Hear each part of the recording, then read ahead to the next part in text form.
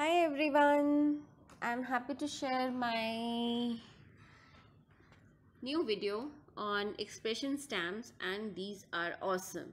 I am in love with them with the with the stamp quality, the packaging.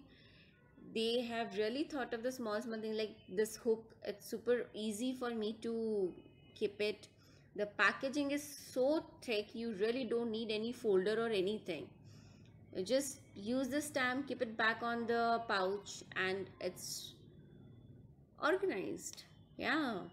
And uh, just see the quality of the stamp. I'm not sure if you can uh, see this in this video but um, the stamps are really really thick. Let me just see if if i can show you that. I'm not really sure just see just see the quality of the stamp. It's really thick. The base is really thick which is really good for a long term use and the lines are really crisp. So when you are using any of the ink pads these are going to give you a very nice and crisp lines.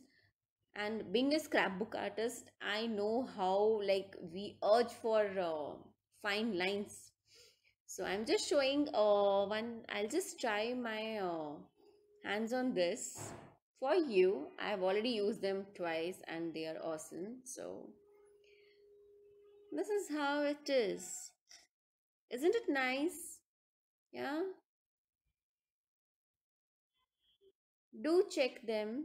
They are awesome. Sharing the link below. Thank you so much for watching everyone. Do subscribe to my channel. Thank you